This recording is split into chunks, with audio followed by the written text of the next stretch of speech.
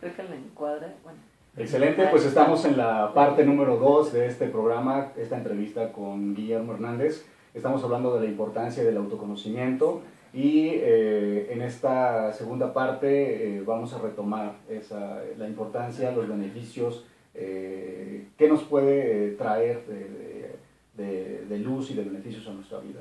Así es, así es. Estamos viendo esta parte de la sabiduría del enneagrama. Yo quiero recomendarles este video también. Bueno, aparte de que se unan a comunidades y se vayan a estudiar, como lo hago yo con, con Guillermo, que es en la escuela Jensen, de autoconocimiento es muy importante, nos ayuda a tomar decisiones y hoy estamos viendo precisamente los beneficios de autoconocernos, porque nada más conocemos la puntita del iceberg, todo lo demás no tienen ni idea de lo que hay debajo de, así es, de, la simple vista. Así es que bueno, continuamos contigo, Guillermo. Exacto, eh, por ejemplo, cuando uno quiere... Eh, por ejemplo, no sabemos por qué reaccionamos como reaccionamos ante ciertas circunstancias, por qué nos enfrentamos de, de, de, esa forma ante cierta... Eh, ¿Cómo reaccionamos, no? ¿cómo, cómo, cómo resolvemos? ¿Por qué resolvemos de esa forma? Hay gente que, lo, que, que su forma de resolver las cosas es con violencia. Hay gente que su forma de resolver las cosas es, con la huida, escaparse, no enfrentar. Hay gente que lo hace con amor, hay gente que lo hace con miedo. Hay gente que lo hace con, con ira, hay gente que lo hace con, con, eh, con tristeza, ¿no? Entonces, ¿por, ¿por, qué reaccionamos de esa forma, no? Em, podríamos decir que es por nuestro contexto, porque así nos educaron, por las figuras de autoridad, por, por la experiencia de vida, es parte de... Por las programaciones. Pero en realidad tiene que ver con cosas que están dentro de nosotros, que tienen que ver con nuestro ADN, con la información que tenemos en las células. Así es y esas no, no, las tomamos a veces en cuenta, ¿no? Eh, el, el, la personalidad es este sistema de defensa del ego y es energía psíquica. Sí. Y el temperamento es biológico, viene en el ADN y tiene que ver con nuestro sistema endocrino. Eh, hay un doctor, el doctor Luis Berman, que eh, descubrió cómo cada, cada una de las glándulas, el químico produce una, una emoción en específico. Y eso es tan evidente que estás triste y te dan un tafil y te pones contento. ¿no? Entonces, eh, eso quiere decir que las emociones son bioquímicas. Entonces, si hay una transformación. La bioquímica del cuerpo. Entonces, esa parte también nos afecta, ¿no? Porque también es emoción. Sale una emoción, a partir de una emoción, emotion, movimiento, es lo que va a generar una acción. Entonces, a partir de cómo estás sintiéndote, es cómo reaccionas ante una situación. Cuando alguien anda deprimido, ¿qué sucede, Guillermo? Cuando una persona está deprimida, está muy distraída. Porque en realidad eh, hay una, hay, las últimas investigaciones demuestran que el cerebro se va deprimiendo porque, porque empieza a haber falta de energía. Entonces, como empieza a haber falta de energía, ¿qué es lo que hace? Hace lo mismo que hacen los osos. Dormir. Empezamos a invernar. Eso es la depresión.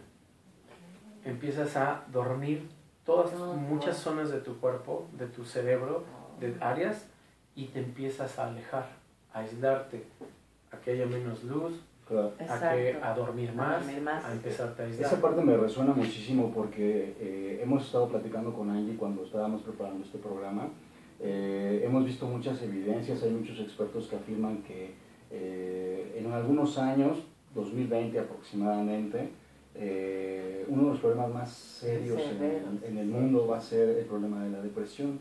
Ese es tema de otro programa. Es tema de otro, programa. Pero obviamente uno de los beneficios del autoconocimiento es, conocerte para saber cómo salir de él. Es totalmente transformador y nos ayuda también a tomar decisiones importantes en nuestras vidas, ¿no? Porque, porque la vida es eso, es una elección constante. ¿Tú qué eliges para ti? ¿Qué estás buscando para ti? Encuentra y descubra en este autoconocimiento, es muy importante. De hecho, la Organización Mundial de la Salud para el 2025 tiene predicciones de que el 50% de la población mundial va a estar deprimida y va a ser uno de los principales em, retos o ausencias laborales.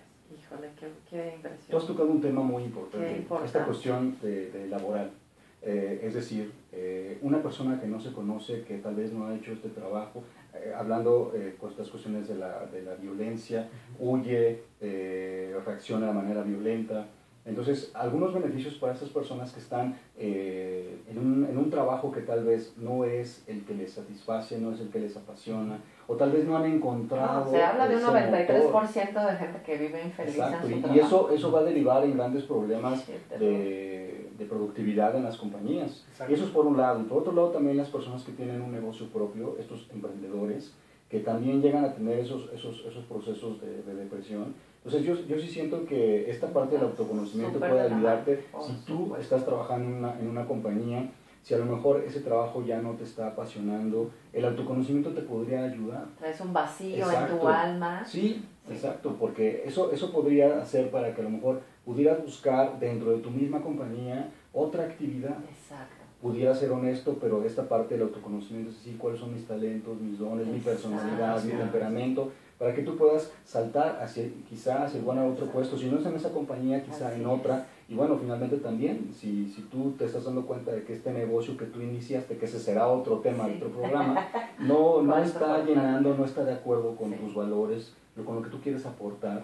Entonces, no, no eh, vamos a escoger un negocio solamente por escogerlo, sino que este, nosotros sugerimos... Ya conscientes, con conscientes cómo es tu personalidad, tu temperamento, y elegir el mejor camino que nos lleve a la plenitud. Así es. Por eso es que yo, yo considero, consideramos que el autoconocimiento puede traer beneficios para, para ti que estás trabajando en una empresa, que estás trabajando eh, en algún lugar, en cualquier. para ti que estás eh, emprendiendo algún proyecto, que tienes tu propio negocio, para ti que, que estás eh, estudiando, para ti que, que, tienes una familia, que tienes hijos, y que eso puede ayudarte a conocerte a ti, conocer a tu pareja, conocer a tus hijos, a tus padres, básicamente las relaciones con, otras, con otras personas. La primera relación que debemos de cuidar es la con uno mismo para sí, poder primero, para más importante. Exacto, Por eso es que les, les, recomendamos que hagan una inversión en ustedes. Sí, totalmente. Finalmente.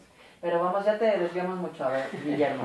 Entonces, eh, la importancia de, de, de, este autoconocimiento. Ya nos hablaste de la sabiduría del enneagrama pero hay mucho por aprender. Eh, la sabiduría del enneagrama no se aprende de, la, de, la, noche a la mañana. Entonces, em, algo sencillo que le podamos decir a la gente que nos está viendo, porque también hemos insistido mucho en leer, en leer te abre la conciencia, el ver películas que te aporten cosas positivas, pero eh, los beneficios, más beneficios que tiene de, de, conocernos, porque es apasionante y transformador este camino. Así es. Eh, mira, de hecho, eh, podríamos decir muchas cosas, recomendar muchas cosas. Y, y, no terminaríamos. Y no terminaríamos. en un solo programa. En un solo programa. El, reto no es ese, el reto es que la gente despierte. No desea eso. El, gran reto es que em, la gente, eh, el cerebro funciona eh, básicamente de dos maneras. Una, prolongar el placer mm. y huir del dolor. Okay. Si leer te es doloroso y no te es placentero, entonces no lo vas a hacer. Claro.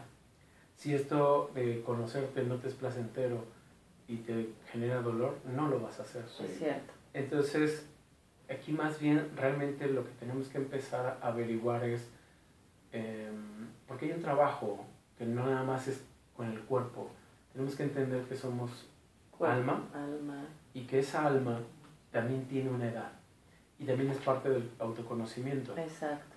La edad del alma. La edad del alma. Y la edad del alma mm, eh, nos va empujando a ir haciendo preguntas, mm. nos va enfrentando a situaciones donde nos permiten que llegue esta información y le abramos paso a esta información. Mm. Hay gente que definitivamente, aunque le expliques una y otra vez, no va a entender. Y por más que le enseñes, ¿no? Tengo varios alumnos que desafortunadamente están en este camino. Y eh, por más que les expliques, no lo pueden entender. Entonces alguien que no, que no, es, que ya decidió no entender, es inútil explicar. Está, bloqueado, pone, pone una, eh, una, defensa y una te, Siempre te va a hacer sacar un argumento de que tiene la razón de por qué se siente así. y justificarte, ¿no? Y se justifica. Claro, Guillermo, perdón que te interrumpa, eh, se nos está acabando el tiempo del programa. Eh, nos gustaría que nos pudieras compartir, esto está eh, muy interesante, trae muchos beneficios para las personas. Platícanos un poquito cómo te podemos contactar, de qué manera la gente que nos está viendo pudiera tener un acercamiento contigo. Exacto, mira, nosotros tenemos una, una institución, una escuela de, de conciencia, de escuela consciente le llamamos, se llama Jenser Y en Jenser lo que hacemos es, eh, como primer em, acercamiento a todo esto, es eh, desarrollo humano, autoconocimiento, y después eh, enseñamos muchas otras cosas, algo ya más raras, pero más profundas, más, profundas, más, edificantes, trabajo espiritual, trabajo con, con, con, expansión de nuestra conciencia. Y eh, estamos en Facebook, estamos en desarrollo físico y espiritual. Eh, en, la página web es eh,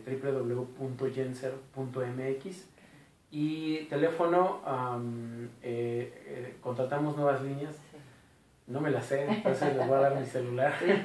Sí, para que lo puedan contactar. 66 76 11 70 55 66 eh, 76 11 70. Ahí me pueden mandar un WhatsApp o un Telegram y eh, ahí les podemos dar más información, más datos de todo lo que hacemos, de los programas, de los eh, del programa de estudios, de los retiros que hacemos, de, los semestres que eh, damos de educación formativa, porque no nada más es la, la, la, educación informativa que nos da el medio, el sistema, también ocupamos este, educación formativa, que es la que realmente hace que seamos eh, seres humanos.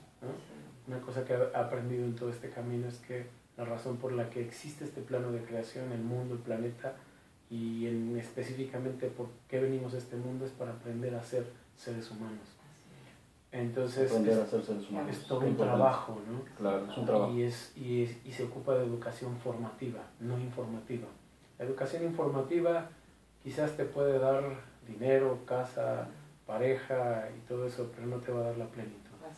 Entonces, eh, nosotros lo que, lo, lo que hacemos, nos enfocamos en que la gente comprenda, expanda su conciencia y aprenda a ser ser humano. Exacto, pues excelente, muchísimas gracias pues Guillermo, un, honor, estar con nosotros, un honor verdaderamente. Un honor que haya sido nuestro padrino de este primer, programa. Mucho que decir, mucho, que, hablar, muchas gracias Guillermo y de verdad eh, agradecemos a todos ustedes por estar con nosotros y continuar en este camino de, de, expandir la conciencia y de conocernos más. Mucha suerte y nos vemos el jueves en punto de las 9 de la mañana. Muchas gracias. Hasta, luego. Hasta luego.